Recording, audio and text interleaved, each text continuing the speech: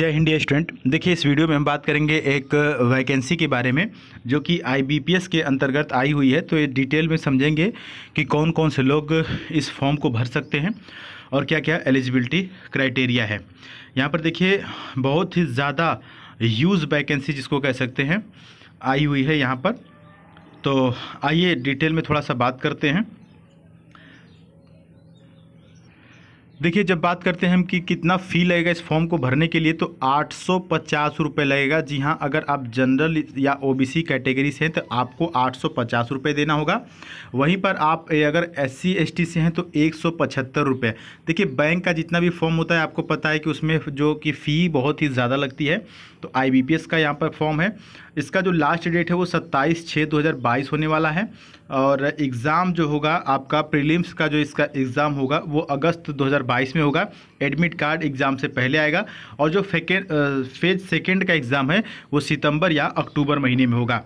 Age limit की बात कर लेते हैं तो 18 से लेकर के 28 साल तक के स्टूडेंट इस फॉर्म को भर सकते हैं, ठीक है? और वहीं पर जो ऑफिसर स्केल है, ऑफिसर स्केल वन के लिए 18 से लेकर के, ये 28 से बढ़ा करके 30 साल तक के स्टूडेंट इस फॉर्म को भर सकते हैं। वहीं पर बात करते हैं स्केल थ्री की तो इक्कीस साल से लेकर के चालीस साल और अदर पोस्ट के लिए इक्कीस साल से लेकर के बत्तीस साल तक के स्टूडेंट इस फॉर्म को भर सकते हैं। अब देखिए ह्यूज वैकेंसी हमने क्यों कहा? क्योंकि आप देख सकते हैं कि आठ छः पोस्ट हैं यहाँ पर, यानी कि बहुत है। जहाँ पर सौ पचास वैकेंसीज आ रही हैं अदर सेक्टर में, वहीं यहाँ पर आईबीपीएस के अंतर्गत आप देख सकते हैं आईबीपीएस आरआरबी के अंतर्गत यहाँ पर आठ हज़ार एक सौ छः पोस्ट है, यानी कि बहुत ही ज़्यादा पोस्ट है। आइए समझते हैं कि कौन कौन से लेकर इस फॉर्म को भर सकते हैं। एलिजिबिलिटी क्राइटेरिया क्या है? तो यहाँ पर अगर आप ऑफ़िस असिस्टेंट के लिए भरना चाहते हैं तो इसके लिए टोटल पोस्ट है चार हज़ार चार सौ तिरासी। और यहाँ पर जो इसकी एलिजिबिलिटी क्राइटेरिया है, वो एटलीस्ट आपका बैचलर डिग्री होनी चाहिए, किसी भी स्ट्रीम से, ठीक है? और अगर आप ऑफ़िस स्केल वन के लिए भरते हैं तो दो हज़ार छः सौ छिहत्तर यहाँ पर वैकेंसी है इसके लिए बैचलर डिग्री इसके लिए भी होना अनिवार्य है। उसी प्रकार से स्केल सेकेंड के लिए अगर आप भरते हैं तो सात सौ पैंतालीस पोस्ट हैं और इसके लिए बैचलर डिग्री के साथ साथ आपका मिनिमम जो है कि फिफ्टी परसेंट होना अनिवार्य है ग्रेजुएसन में। क्लियर? और उसी प्रकार से ऑफ़िस सेकेंड के लिए यहाँ पर देखिए, टेक्नोलॉजी ऑफिसर में उसी प्रकार से यहाँ पर एटलीस्ट वन ईयर होना चाहिए। पोस्ट वाला पोस्ट एक्सपीरियंस और उसके बाद पचास परसेंट एटलीस्ट आपका बैचलर डिग्री में होना चाहिए। और इसमें कंडीशन है, या तो इलेक्ट्रॉनिक्स होना चाहिए या कम्युनिकेशन या कंप्यूटर साइंस से, या इन्फॉर्मेशन टेक्नोलॉजी से आपका बैचलर होना चाहिए। उसी प्रकार से आप देख सकते हैं सी ए के लिए यहाँ पर सी ए पास होना चाहिए पास सी एग्जामिनेशन होना चाहिए आपको लिए। ऑफिसर सेकेंड जो अकाउंटेंट चार्टर्ड अकाउंटेंट के लिए है तो यहाँ पर आपका सी ए जो है कि आप पास हो, होने चाहिए। एलएलबी के लिए यहाँ पर देखिए लॉ ऑफिसर के लिए आपका एलएलबी में फिफ्टी परसेंट होना अनिवार्य है। तो ये सब तो कुछ अधिक हो गया बहुत ही कम ऐसे स्टूडेंट होंगे जो सीए और एलएलबी पास किए होंगे। जो भी होंगे वो आप इस फॉर्म को भर सकते हैं।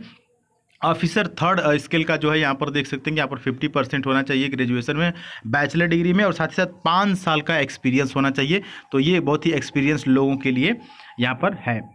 आगे बढ़ लेते हैं। यहाँ पर जब बात करते हैं वैकेंसी डिटेल की तो आप देख सकते हैं कि अलग अलग पोस्ट के लिए अलग अलग यहाँ पर जनरल के लिए उन्नीस सौ सिक्सटी नाइन यहाँ पर है और उसी प्रकार से ई डब्ल्यू एस के लिए चार सौ पंद्रह। तो अलग अलग कैटेगरी में बांट दिया गया है। पूरा डिटेल के साथ यहाँ पर आप इस फॉर्म को भर सकते हैं सरकारी रिज़ल्ट डॉट कॉम पर भी जाकर के या कि फिर इसकी ऑफिशियल वेबसाइट पर भी जाकर के इस फॉर्म को आप भर सकते हैं। यहाँ पर देख सकते हैं अप्लाई ऑनलाइन, यहाँ पर क्लिक करके आप इस फॉर्म को भर सकते हैं। साथ ही साथ इसका जो नोटिफिकेशन है, हम टेलीग्राम चैनल पर भेज देंगे।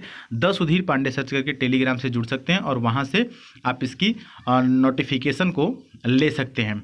बाकी जो भी स्टूडेंट एयरफोर्स और नेवी एनडीए के लिए तैयारी कर रहे हैं वो अपनी राय कमेंट बॉक्स में ज़रूर दें। और चूँकि एयरफोर्स का रिज़ल्ट इतना डिले हो रहा है कि कुछ भी समझ में नहीं आ रहा है कि क्या किया जाए। बच्चे बिल्कुल डीमोटिवेटेड हो चुके हैं। अभी के वक्त में वो कुछ सुनने को तैयार ही नहीं है। तो ऐसे में समझ समझ में नहीं आ रहा है कि क्या होगा।